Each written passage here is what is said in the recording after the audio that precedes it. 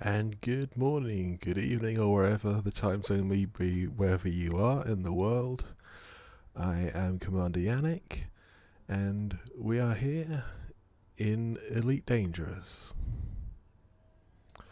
And we have one very particular reason.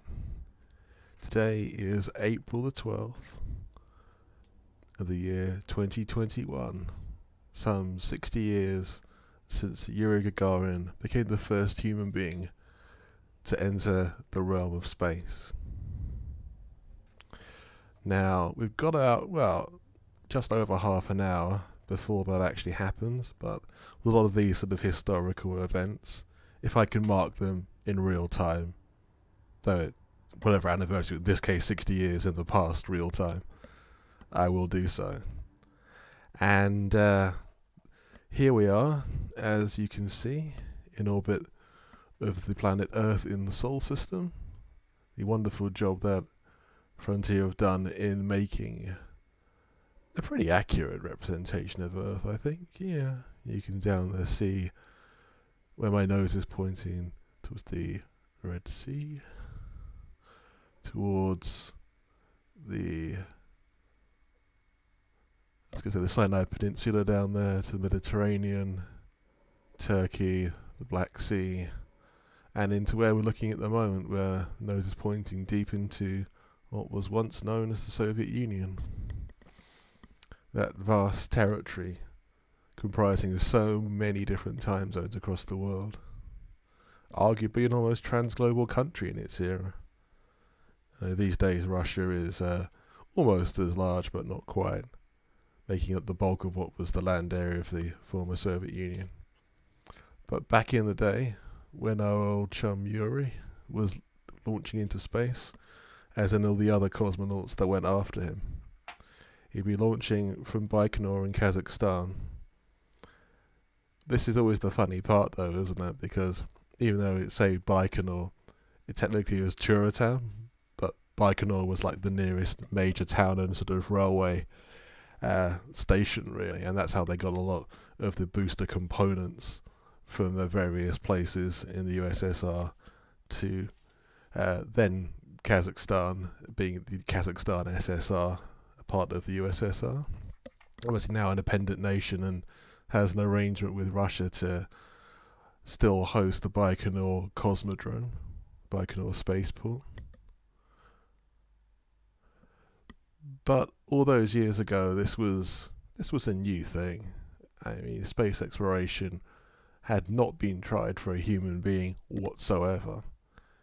I mean, the best thing that could have sort of approximated was uh, for the Americans, monkeys to be sent into uh, early test flights, and in the case of the Soviet Union, it was dogs.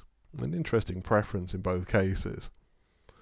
I think for the Soviets, it's kind of it seems more kind of straightforward in a way, just that dogs are easy to get hold of and as sort of test subjects. And uh, but I suppose the advantage, on the other hand, of using chimps was for the Americans is that their physiognomy is physiology is nearer to that of a human being, so it was easier to measure their stress and possibly distress as well, actually, in some cases, and uh, to see how their physiology would react to zero G, because this was in this period of research, it was the late 1950s, early 1960s, and very little, close to nothing, was known about how a human would react physically, psychologically, to space travel.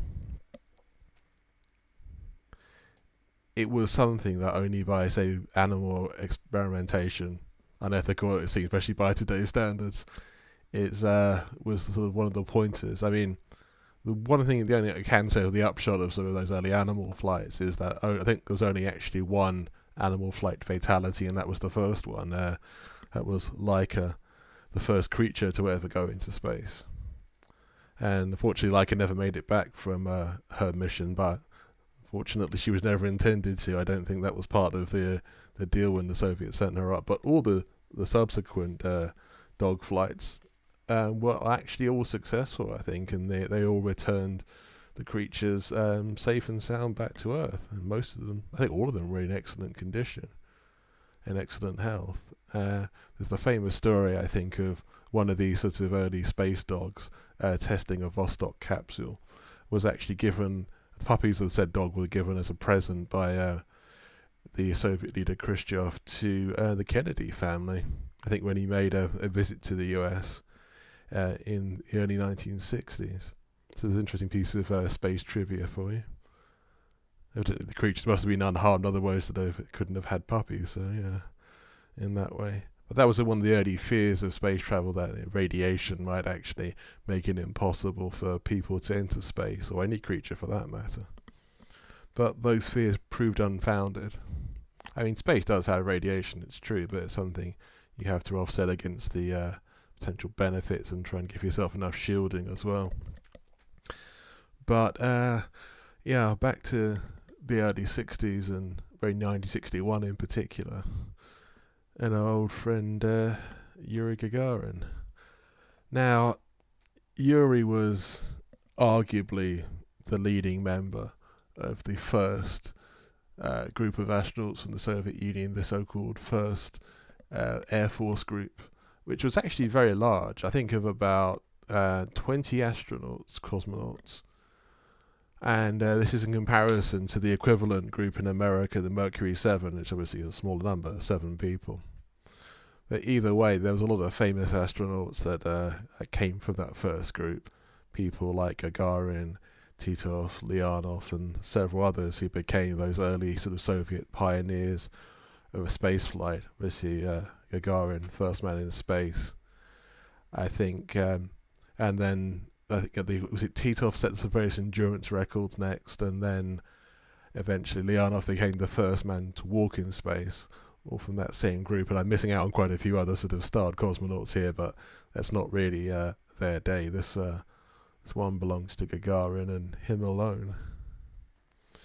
But the whole race into space was obviously uh, not a one-sided thing. It was very much uh, a race between the USSR and the United States who could get the first man into space at the earliest possible opportunity. Now, because obviously America being a more sort of open society at this time, there was more information publicly available as to what they were doing and when they were doing it. Obviously, not everything was known, but the sort of broad strokes of what was going on were sort of made public that they were attempting to launch a suborbital Mercury mission in uh, 1961.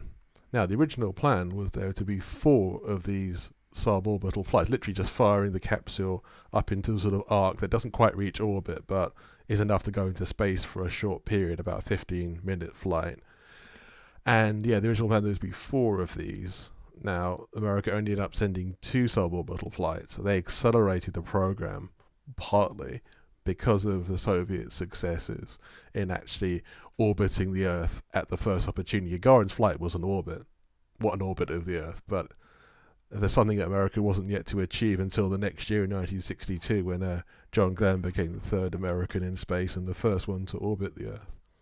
But at this stage of the space race, you know, the Soviets were very much ahead in pretty much every department, and the US wasn't to catch up for a, a, quite a while obviously these sort of things uh, didn't go down well, and especially in, in Congress, the United States, where there's pretty much uproar like, how did they manage to do this? It's like, aren't we supposed to be better than them? But obviously, it's it's always more complex than that. I mean, the United States always had a lot more funding for these programs, and comparatively, the Soviet Union had a shoestring budget, but was very efficient. Uh, you in the terms of use of the money that they did have and the facilities that they have. I mean, if you think about it, it is quite remarkable that a society that was devastated by war, with nearly 30 million people killed, only, you know, a little over a decade before this first space flight managed to actually put someone up into orbit before any other nation in the world. And that's a remarkable turnaround by any stretch of the imagination. And part of this is obviously down to their uh, genius head designer, a guy called Sergei Korolev, who many of you may know, may have heard of. But essentially, uh, he was, I suppose, a very similar position in many ways to uh, Wernher von Braun was in the United States, but arguably, maybe even more so. Possibly Korolev was doing too much. It was too much of a burden on his shoulders. But, you know, they were approximately the sort of lead designers in both cases and the sort of yeah, driving force behind their respective uh, space programs, the sort of visionaries, as it were, pushing forward. And um, in many ways, von Braun had an easier chance because he was allowed to sort of concentrate more on sort of pure design work, and obviously some amount of uh, managing engineering projects too. But Korolev had to juggle a lot more in his uh, uh, corner of the world to do all these uh, complex tasks because obviously there was no precedent for any of this. In just pure engineering in pure aerospace terms there was literally no precedent whatsoever for any of this. Everything that designers engineers technicians pilots both sides of the iron curtain were doing was completely unknown. All the solutions they came up with were unique. It's one of those situations as lots of parts of the cold war is like no matter how even if you had like top intelligence on your opponent, like ultimately at this stage uh, you had to go with just your best engineering. You had no other choice because the two approaches were quite different anyway. So uh, definitely a case of the Soviets actually managing to pull off top quality engineering just off their own resources. Even though many may argue that's not 100% true either, both sides of, uh, of the Iron Curtain, there was assistance from captured German uh, rocket scientists and engineers. But the intriguing thing is, in the case of the Soviets, they they did not get the top rocket scientists that uh, from the uh, V2 program that America did under the famous or infamous Operation uh, Paperclip, which the uh, scientists yeah, the, of the V2 were taken out of Germany at the end of the war and basically kind of imprisoned pretty much on a US Army base for about a decade as sort of penance for their, their sins, as it were, working for the Nazi regime, and to build better rockets for America. Initially, missiles for the army, but that changed. But as I say, the Americans had the top designers, the top engineers on from that V2 project. The interesting thing is the Soviet Union did get a fair few people also from the V2 project, but they weren't the top engineers. They were like the mid-level manufacturing and uh, you know sort of equipment technicians really. And funnily enough, that actually was in many ways a bigger advantage than actually gaining all these sort of former, German rocket scientists. Yeah, von Braun was definitely worth it, and so the other designers, no doubt about that.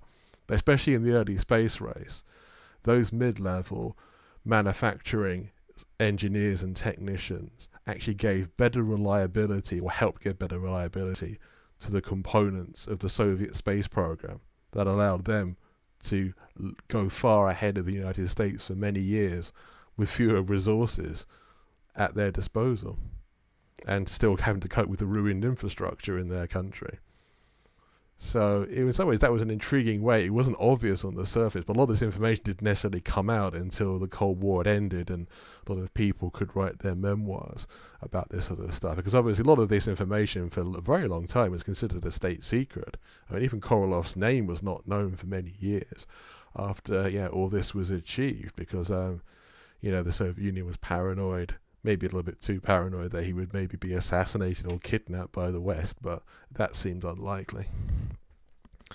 Obviously, there was a lot of political and sort of propaganda calculations involved with this, too, but ultimately, the Soviets were the first ones to actually reliably put a booster into orbit, or even suborbit for that matter, reliably to actually put a person on top of it, and uh, enough to bring them back safely.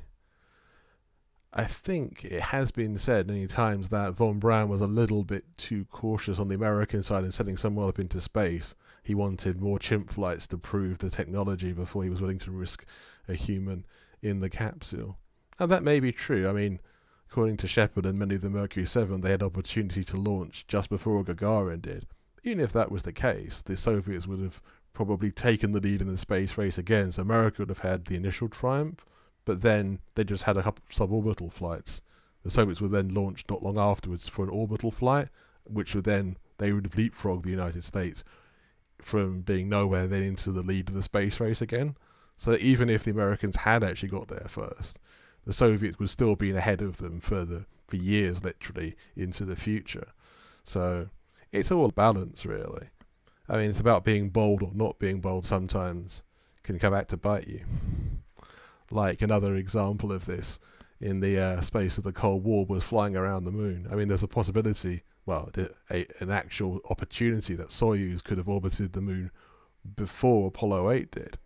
But Vitaly Mishin, so not Vitaly, Vasily Mishin, the uh, successor to Korolev as basically head of the Soviet space program, was arguably too cautious in actually uh, trying this out, even though his cosmonauts and engineers were more than willing to give this a try. But that's uh, again another story for another day. But uh, my plan today is I am going to when it turns uh, at five, sorry, not five, six oh seven UTC, which is the same as in-game time. I am going to orbit the Earth at the time that I think the insertion of Vostok 1 happened. So as sort of my own personal tribute here. Hence why I'm starting basically over the former Soviet Union. And uh, to sort of ape that orbit as it were as best I can, but yeah, it's crude, but it's uh, the best I can do under the circumstances. And I have a little YouTube video to play as well, which uh, will be cool. It's some of the original footage of the Vostok 1 launch uh, with Gagarin and some footage of him and uh, a few other people involved in the program. Yeah, it's all the original uh, footage in Russian. I do not speak Russian, unfortunately, but those of you who can will no doubt be able to uh, understand a lot more of it than I can. I've just read the transcript, so that's the reason I understand what's going on. So, how's everyone out there? How's it going? I hope you're all having a wonderful time wherever you are in the world.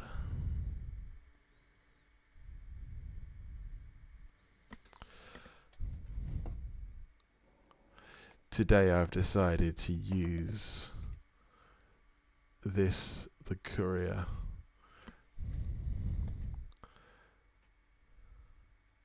seemed appropriate somehow. I think it just looked right, you know. I could have used a bulkier spacecraft, but considering that the Vostok 1 was a very small spacecraft, it seems somewhat fitting to have a smaller little spacecraft to uh, to do the job.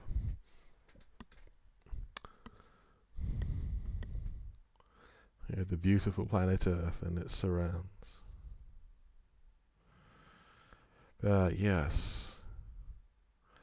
I suppose I'm kind of known in the elite community for these uh, space history things that I do, but and uh, expedition organising as well. But I'm happy to talk about space history. I always am, and this particularly is always a moment of great intrigue and drama in the history of humanity, not just the Cold War. Yeah, argue a lot of the space race, especially the early space race, was a product of the Cold War. Its acceleration was a product of the Cold War. But in the end, you know, it, it did. I think it was good for, for humanity in the way that you know America dedicated the Apollo landings to, you know, the betterment of all mankind to its credit, the USSR did the same thing with putting Vostok up there and Gagarin's flight. And he, he Gagarin was always at pains to underline that. I think he personally believed in it very strongly because he always seems like a very enthusiastic man. So he toured the world sort of almost endlessly after that. Um, you know, visiting so many countries and being a sort of ambassador, I suppose, for the uh, the Soviet space program as a whole. But yeah, he was never to fly in space again, this being his one and only space flight. I suppose he was considered to be too much of a, a national hero, a national treasure for the Soviet authorities to want to risk again. Even though he was assigned as the backup pilot for uh, Soyuz 1, which uh, tragically resulted in the death of his friend uh, Vladimir Komarov, also from uh, the first group of uh, Soviet astronauts, cosmonauts. So yeah, he was still in the program for many years afterwards, even if he was basically not allowed to fly in space again. It does make you wonder why he was signed to a backup crew mission if they never were thinking of flying him. Maybe they were t- kind of toying with the idea at one point, but they never actually followed through with it. But yeah, it's uh, obviously many, many of you may be aware. Yuri fortunately died uh, few years later in a, a, plane crash. I think he was trying to get recertified as a as a fast jet pilot because he just I think was bored with not flying that much. He hardly flew planes at all. At that point. and being like a trained test pilot and an astronaut, cosmonaut, he uh, yeah he wanted some excitement again and. Uh, unfortunately, as sometimes that has happened in fast jets, there was a an accident and a fatal one at that. And yeah, it's it seems unbelievable. A man of such great achievement could die in such a yeah mundane kind of way. But as anyone who knows about you know fast jets in any air force, any time in in the history of flight, it's uh, it can be a very dangerous profession flying fast jets. But there you have it. Another sort of related irony to the Cold War was the very rocket that fired Gagarin into orbit, and has actually variants of have fired the majority of uh, Soviet cosmonauts ever since, and Russian ones afterwards, is the R7. Eventually, the R7 Semyorka ICBM, the world's first ICBM. Not a particularly great one for an ICBM because it took so long to fuel, but the irony is that the basis of such uh, the peaceful exploration of space by the sort of Vostok, then Voskhod, and then now Soyuz rockets are all based on the R-7, which was designed as a weapon of mass destruction. But ultimately, Korolev, I think, wanted. He designed this ICBM for the Soviet military, but wanted it to be the basis of an actual peaceful space program. So, you know, he was sort of playing the system in a way to try and get his ideas for space travel to work, and uh, that's what happened. So a weapon of war was turned into a tool of peace, and I'm glad that it was. Then again, it's like that happened in America as well. I mean, the early uh, space flights were all on converted ICBMs. The Redstone rocket for Mercury, the Atlas again for Mercury, and the Titan II for Gemini, all converted ICBMs all sort of man rated with slightly less vicious acceleration. So that you know a person wouldn't actually be harmed by the sort of vicious kickback during launch and acceleration into orbit. Still what I will do is that in the minutes we have left I will show a brief uh, YouTube clip and then and do the countdown. I say the flight would have happened in about will be eight minutes from now, some six decades previously. Uh, bear with me a second as I turn on the video. If everything goes according to plan, haha.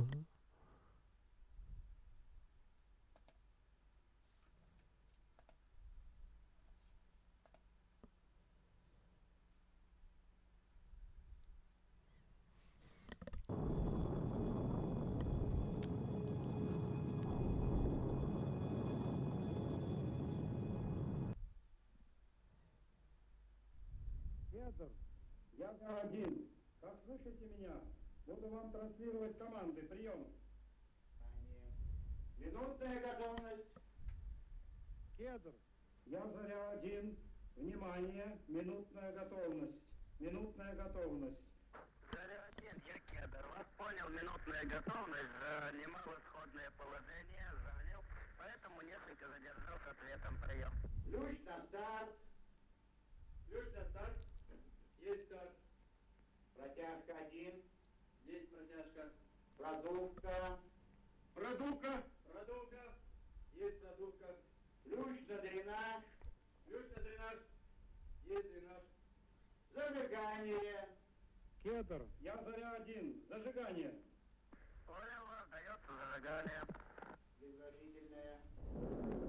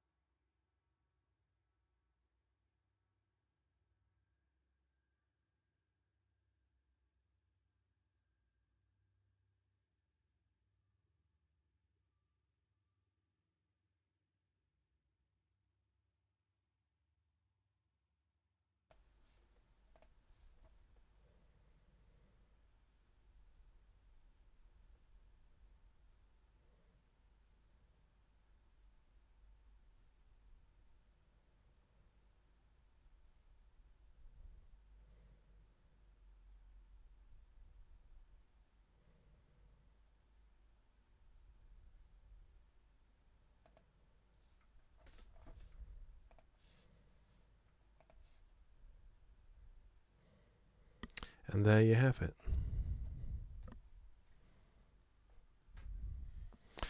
Yeah, all original footage from uh, the USSR in the early 60s. I've seen it many times, all those clips, but it always sort of fascinates me. There's that sort of, sort of look at their body language, it's a combination of nervousness and excitement. I think no doubt anyone would feel uh, in these sort of circumstances. Even the most highly trained test pilot is going to be slightly on edge about this whole business because, you know, it's uh, not just flying a new craft like you would be flying in, let's say, a new aircraft, but you're flying a whole new kind of vehicle. That's going to be pretty boggling for anyone, no matter how long you've trained for it. There's going to be that slight edge to it. Garin always seemed fairly happy. I mean, interesting to see on the bus as well. The other guy in the spacesuit is the uh, backup pilot for uh, the Vostok 1 flight, uh, German Titov, who would actually fly the next uh, Vostok mission and orbit the Earth multiple times, uh, say setting a new endurance record at that point. And uh, yeah, you uh, you hear the voice obviously of uh, Sergei Korolev uh, at the mission control at this point, wishing him well.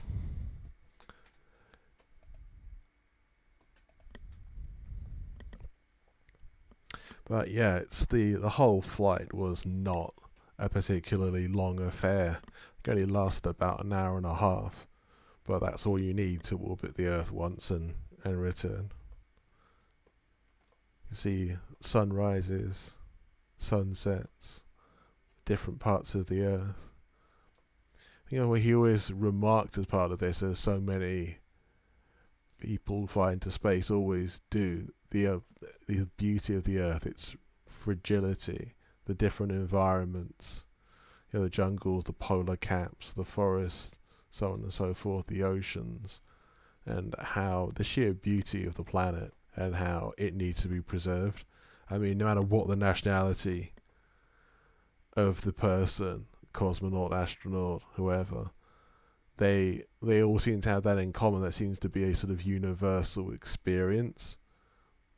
The idea of sort of of like human politics and struggle, sort of seeming pointless and petty, really and that you know boundaries between nations dissolving in the face of nature and and really the cosmos itself because obviously boundaries are sort of political creations of our societies there is no they don't exist in nature in any any real sense yeah it's the uh, such beauty i think is it's well recreated here in this uh, model of the Earth. You see so much of it even from this vantage point.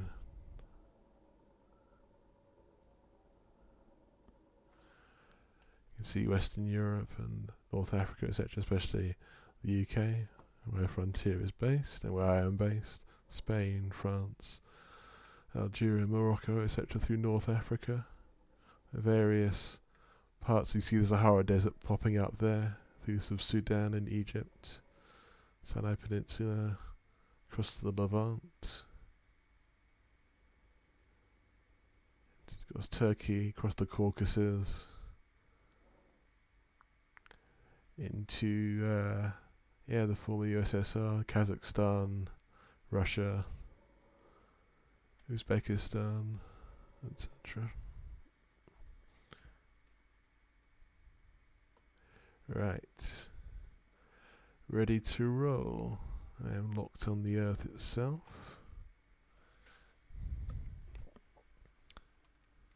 I will begin the countdown shortly.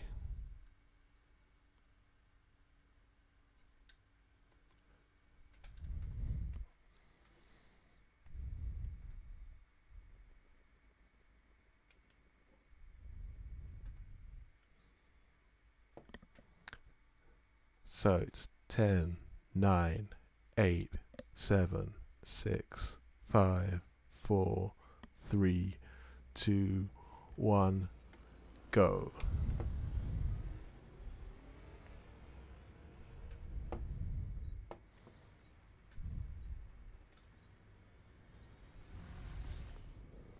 So at this point, 60 years ago, Vostok 1 would have cleared the tower left the surface of Baikonur, and ent- and then started its ascent up into space. I'm now engaging low orbit of my own. I'm going to use Super Cruise orbit to stabilize it and switch to external view.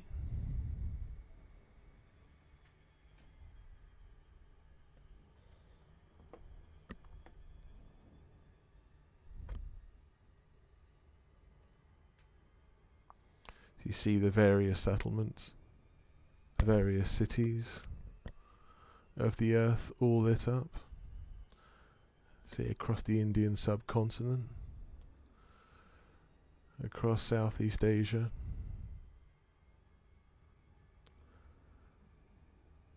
As the night fades and the sun goes behind the planet. Across Indonesia. Across Australia. Obviously, this is way in excess of the speed that we would orbit the Earth these days especially way in excess of the speed that Vostok ever orbited the Earth.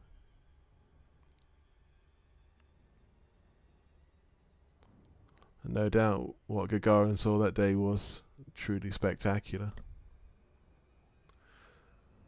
We see the night day terminator line appearing over here over the Pacific.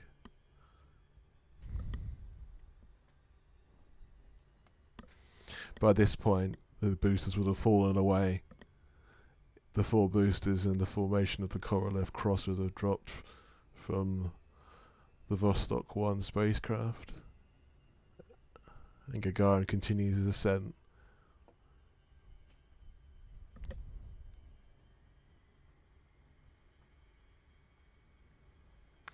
Every see every time there's a Soyuz launch these days, the same thing happens because it's the evolution of the same basic design. The R7. We cross over the Pacific into space above South America. See the Amazon basin. See the mountains of the Andes. See the Isthmus of Panama.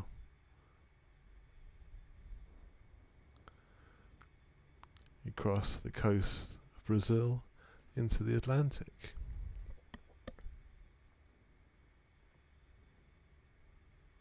By now, Vostok 1 will be burning on its final stage. Trying to gain the necessary velocity for orbital insertion. Here, as we cross the Atlantic, cross North Africa, across the Sahara, seeing the Mediterranean Sea, seeing Europe.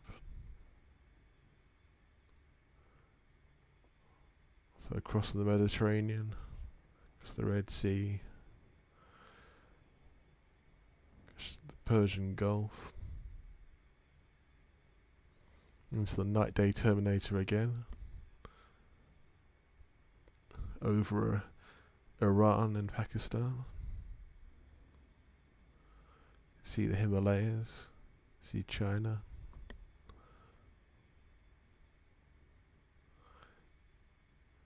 See Burma and Southeast Asia. See the the way the sun sets there, and almost eclipse of the fashion. It's one of the most pleasing things I think in Elite when that happens. You see a world eclipse, even temporarily.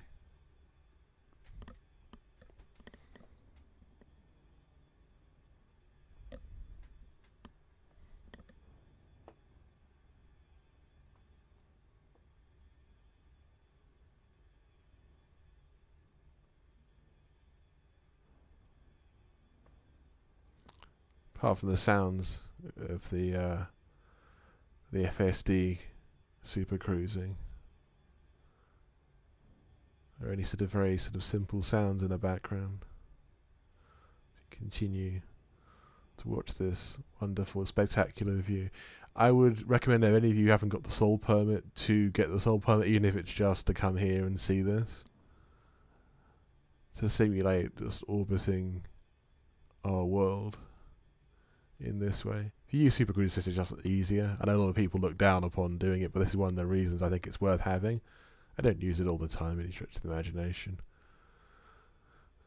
But for certain things I do, and this is one of them, to observe a, a planet, a body, to observe it without having to worry about where I'm going and keeping the orbit uh, sort of even or close to even. Because you orbit a planet, obviously the planet rotates beneath you. That's why you see on mission controls a spacecraft.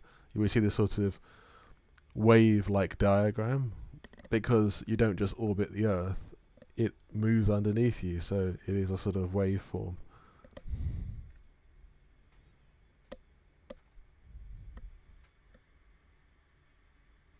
And hello to anyone who's just joining us. I am Commander Yanick, and this is the 60th anniversary of Yuri Gagarin's first space flight. The first space flight by a human being. And here we are, orbiting the beautiful Earth. Should really have turned off. Um, yeah, I should have turned off lines in this, shouldn't I? But it's a bit late for that now. oh well, hey ho. Can only just about see them at the edges anyway. See the odd little sort of light over there of the uh, spacecraft also orbiting the Earth at this point. A wonderful feeling it must be to orbit, whether in the ISS or uh, or another spacecraft, really, or a space station. Obviously, now we have a plethora of different spacecraft that can do the job. Aside from Soyuz, the most well-known ones are, you know, obviously Crew Dragon,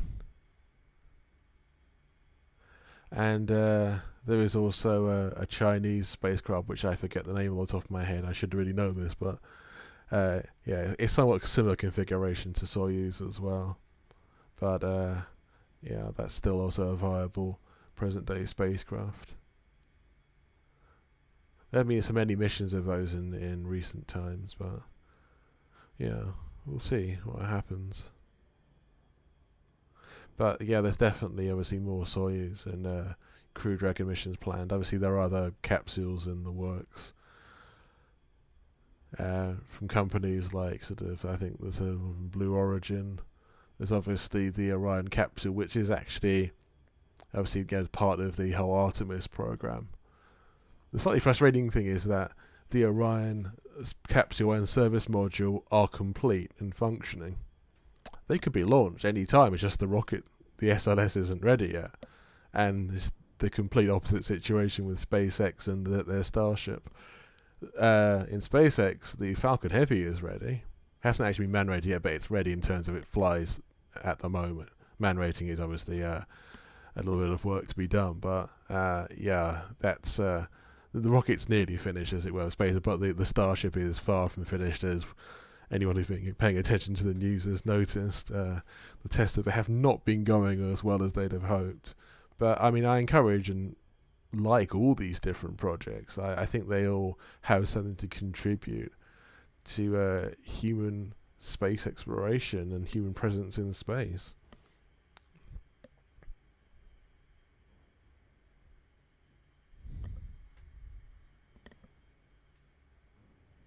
Yeah, could just watch this for ages. I probably will too. ah. How's it going out there, everyone? How are you all doing? Hope you're having a good morning or evening. This is one of the amazing things, obviously, about the present global internet and the elite community as well. It genuinely is a global group of people. If you've never seen Elite before, this is probably a quite a good introduction to it. Because it's quite relatable, and this is actually one of the most relatable bits of Elite Because it shows off the game, but also shows in a context that most people will be very familiar with.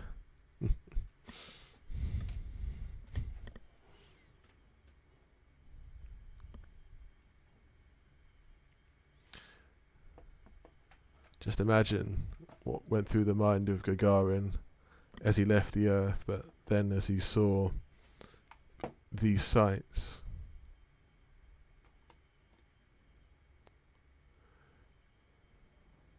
As he was the first human to see this kind of this kind of sight, to have this kind of experience. Looking for detail of the Pacific Island to see what kind of detail they've gone down to. I can see New Caledonia over there, so and some other one look like maybe the Marshall Islands up there I can see. Yeah. But then, obviously, following uh, Yuri was so many, uh, so many astronauts and cosmonauts within quick succession.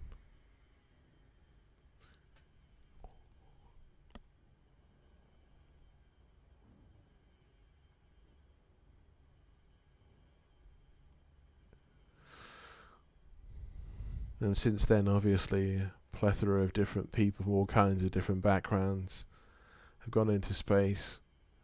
Uh, mostly under uh, the uh, Russian Federation or the Soviet Union on Soyuz, Americans on the space shuttle, and uh, now on uh, on the Crew Dragon program as well. See, the unmanned test of Orion, I think, is due in theory later on this year. Obviously, that purely depends on the SLS being actually ready. I think it passed some of its recent test firing, so that's uh, another box ticked along the way of making it viable. I mean, I admit the SLS is not the most modern or efficient of rockets, but if it does the job, then that's the main thing, yeah. And there's a whole political angle which I w- won't go into it here, but I'm just talking on a sort of purely technological level right now looking to the details of like the Sahara, and then I look northwards up, up until Europe, and I see the Alps, and then the mountains of uh, Scandinavia at the spine of Norway. But it's what nice feature you see on Earth like worlds and as you go into darkness, into dusk, into the night day terminator, you see all the lights of the cities come on.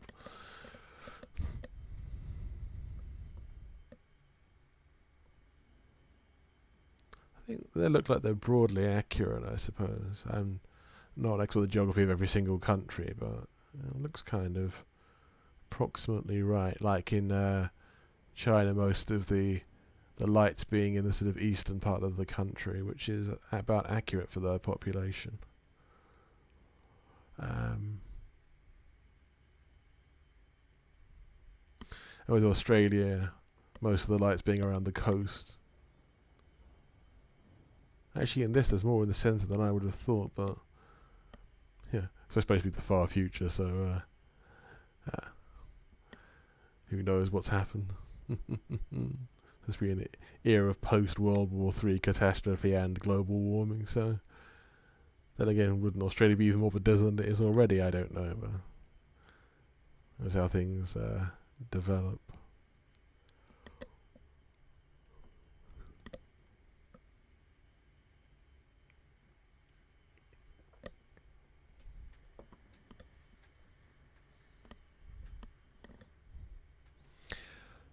It's almost mesmerizing watching this.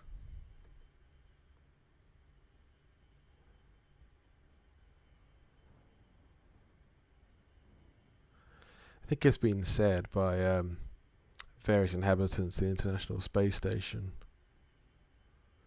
that yeah they can.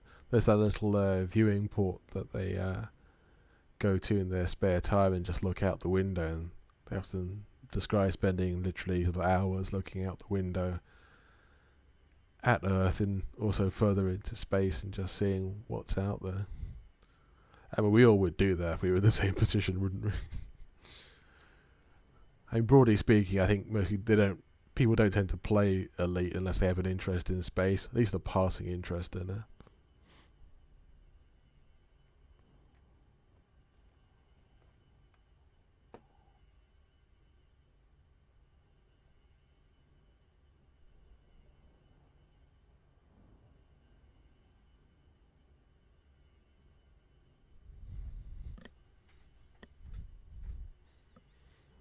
Our in its glorious detail.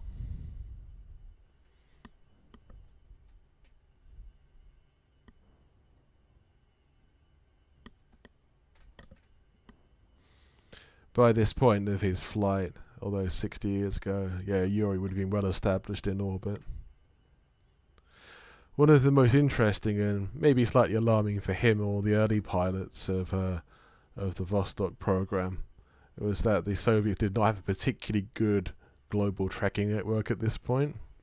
Partly because the whole technology surrounding it was in its infancy, but it's the fact that they hadn't actually got to the point of actually working out how they would track a spacecraft and keep in constant communication throughout its journey around the Earth. I think eventually they end, ended up deploying a lot of uh, ships at sea in very strategic locations to act as uh, com ships. I mean, the Americans did similar. The Americans had more ground-based ones comparatively because they had more allies in sort of key places in the world. So it's had allies, they tend to be more clustered in sort of Eastern Europe or in certain parts of Africa. But not so much at the time, though, that could have helped them. So for parts of the Vostok 1 flight, I think Yuri was actually out of comms, direct comms range of uh, the Soviet Union itself. And even through relay stations wasn't in contact. I think on Mercury, the uh, astronauts there did also have problems where there were places where they would be out of comms range for a certain amount of time. Even though they did have a slightly better tracking network in terms of where it was uh, scattered across the globe. I think for both the superpowers did improve over time though, once they realised it would be very useful just in case of an emergency to have a way to be in, in contact with uh, the spacecraft at all times. Or if they, yeah, you know, during a silent period, let's say the crew is supposed to be sleeping, if there was an emergency, they could raise the ground immediately. I think it took like till quite late in the Gemini program before, let's say, the American one was complete. I, I think the Soviet one was by a similar period of time, uh, at least by the late '60s, anyway. Obviously, these days it's that they've really sort of dispensed with the need for the sort of ground tracking stations or sea tracking stations uh, by having a series of satellites that are the comms relays uh, for you know space programs generally obviously there's so many satellites out there these days. It's such an easy thing to launch one. It's a very obvious thing to do.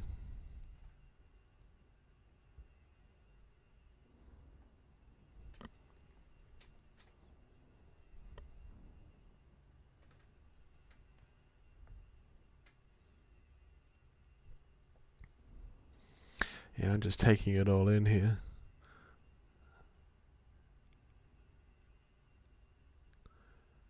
I think all those early space flights another thing in common from both superpowers is that they were all very risky journeys. I mean, as a booster, the R7, you know, Vostok variant was more reliable than one the Americans were using for, uh, especially for Atlas. I mean, for trying to get into orbit, Atlas was was pretty dodgy, least to start with. They eventually got it working okay, but it was a pretty fragile machine. Uh, yeah, it's um, and there were so many incidents of both um, early Vostok and especially early Mercury flights that the crews nearly died. I think on Yuri's flight particularly, they had a problem with the spacecraft wouldn't the, re-entry module wouldn't completely detach from the service module, and uh, it looked like at one second he might not actually make it back because he would be badly positioned for re-entry, but it turned out not to be the case, and uh, he's able to separate okay and return unharmed.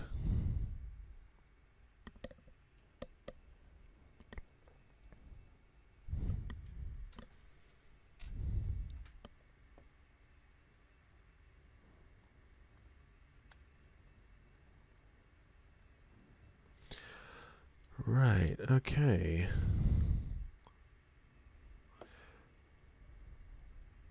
I think I will probably wrapping the stream up in the next five minutes or so. But for those of you interested, I will be having a sort of celebratory gathering of uh, commanders at Dav's Hope in the FleetCom private group tonight at uh, 2000 hours UTC in-game time. So those of you who wish to turn up and celebrate one, I think a lot of people call this Yuri's night as well, don't they? In uh, in recognition of Gagarin's flight. But this wasn't a night for me. This is quite early in the morning for me, so that's why I'll do another one later on today. But yeah, if you can make it, I'd love to see you uh, in Fleet Combat Dav's Hope at uh, 2000 hours. So until then, fly safe.